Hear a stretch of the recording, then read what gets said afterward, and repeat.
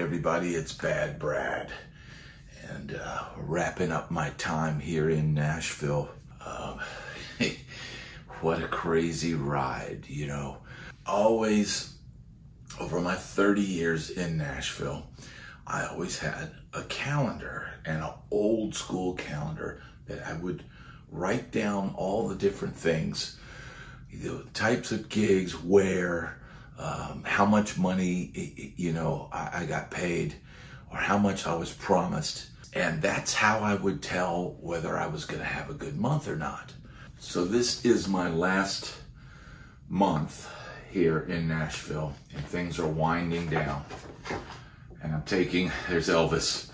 I'm taking, uh, only took a handful of gigs this month because of all the process of moving uh, but you know, here we have a EBB. It's Eric Blue gig, three hundred dollars. Um, and then uh, number one party band, which I just did. Um, I'm not sure how much I'm getting on that. I'll wait and see. And here is a uh, Juneteenth gig with Eric Blue. Um, I'm about to do that today.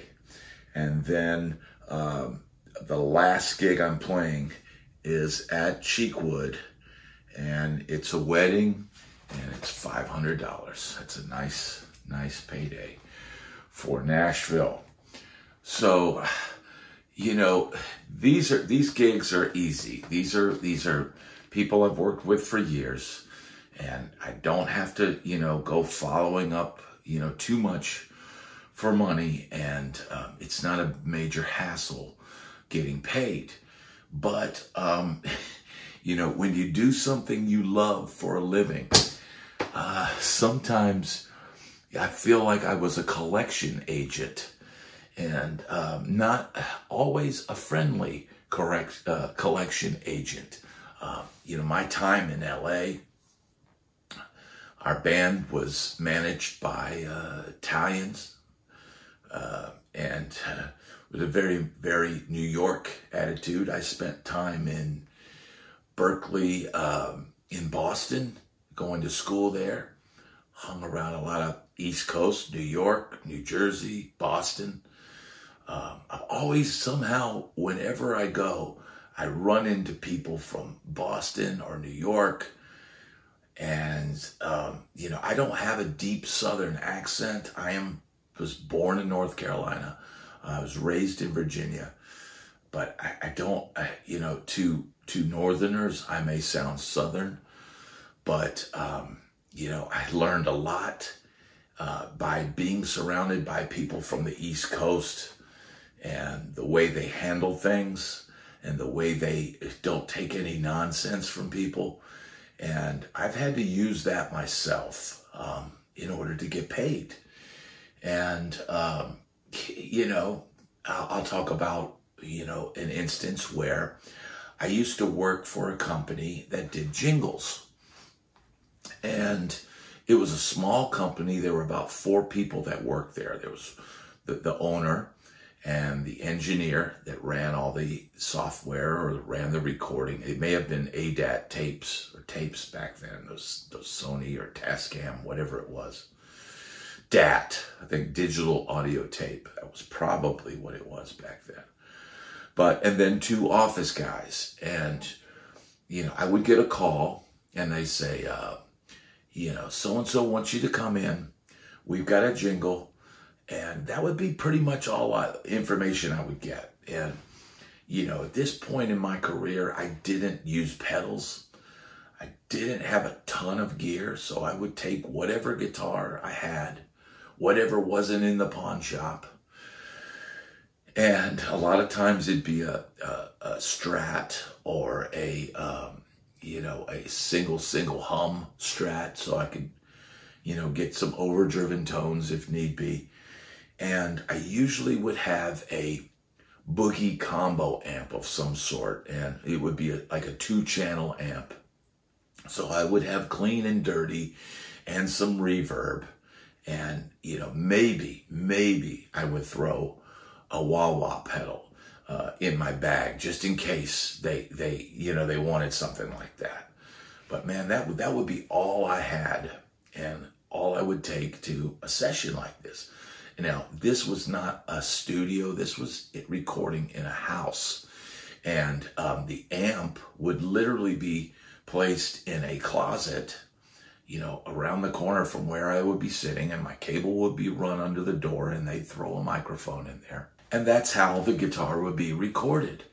And, you know, I always, I would always pray in these type of situations that I had everything that I needed. I knew, oh, I don't, if what if they asked for a flanger, or what if they asked for chorus, or what if the this guy never really asked for anything like that. And for the most part, the guitar parts that I would play would be some of the most unobtrusive, un you know, you know, people think when I say, oh, a jingle session, they think, oh, you go in and, oh, today we want you to do Stevie Ray Vaughan, or today we want some Van Halen, or today we want, you know, this. No, this, this was none of that. The only time where I got to sort of crank it up just a tiny, tiny bit was um, we did a session and they wanted the, the guitar, like a guitar solo, kind of like We Will Rock You. So I, I did something, you know, kind of like that. And I dialed up a Voxy kind of overdriven type tone and, and, and gave them, gave them a Brian May type solo. But normally it would be just really simple stuff, you know, maybe some chicken picking kind of just R&B flavory kind of stuff, not country chicken picking, but but that that kind of uh, R&B style stuff or some basic chords or maybe just a little simple parts. It would be very unobtrusive things. And this was a lesson learning that, you know, you don't always have to just play your ass off and, you know, do all this kind of stuff. You know, just just play what the guy wants and get out. And that's that's what this was. And so um I would do, you know, one or two of these maybe a month. And the pay would always vary. You know, sometimes I think it would be like 90 bucks you know, but it, you're looking at like an hour, hour and a half tops of your time. So, you know, it's just a calendar filler. It's something you'd get on a Monday, at, you know, at noon. And, you know, those are days when we, we wouldn't really have any um, gigs, you know, on a Monday, especially in the old Nashville. You know, Mondays, Tuesdays, you know, it'd be dead. So this one time I went in and I did the session and they're like, oh, that's great. Okay, thank you. Okay, it's going to be 30 days before we can pay you. Okay, uh, so I'm thinking, all right. So 30 days go by. And I, I watched the calendar, and it, it may have been a day after or two days after, but I call back. And they say, um, no, um, it's going to be uh, no, it's actually 90 days. And so it's going to be 60 days um, more. And I hung up the phone and I thought, what the, what the heck? Like, dude, no. So I literally called back and I go, and, and I, I got New York very quick. And I go, I'm coming down there and you're going to write me a check today, I'll be there in 15 minutes. And so I go down there and I walk in the office and they write me a check. Here you go. And I think I think it was a pretty good check. I think it might have been like 460 bucks. So this may have been a special project that they were doing and it paid more and, and maybe maybe they didn't get paid yet. I don't know. And frankly, I don't care because, you know, in this business, you get jerked around by people all the time. And they'll say, oh, I, I don't, you know, it, oh, it doesn't pay yet or this and that. Meanwhile, they're eating at the local, you know, uh, four star eatery and they're, they're living their life and you're over in your $300 apartment that's just almost got kicked, the door kicked in by some, you know, idiot that's trying to rob you. And he, you, you need the money. You need the money. So getting paid is not always easy. And yes, I have had to collect. I have had to get a slight attitude and say, I'm coming over there now and you're paying me and not accepting no for an answer. So, you know, I would have thought that maybe I blew it with these guys and maybe they would never call me again at that at that, at that point. I didn't care because you know eh, you need the money you need the money. End of story.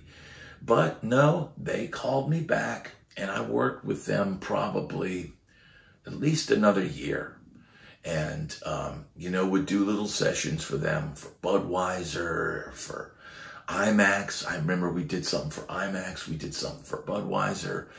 We did a bunch of different, you know, things. And um, I don't think they were upset that I came to get paid. I think they probably understood. I think they wanted to delay as long as they could when they could cut me a check. But um, I don't regret going over there collection style and saying, hey, man, give me a check now. You know, and there have been other instances where um, I've had to do the exact same thing go and collect. And so um, you're going to have to stay tuned for more of those stories. If you'd enjoyed this video, please hit like and subscribe. And if you need anything from Amazon or Sweetwater, hit the link in my description and um, purchase anything. Anything you buy helps the channel. I want to thank you so much for tuning into this video. I don't have much longer here in Nashville. So um, hit that like and subscribe, and I'll see you on the next video.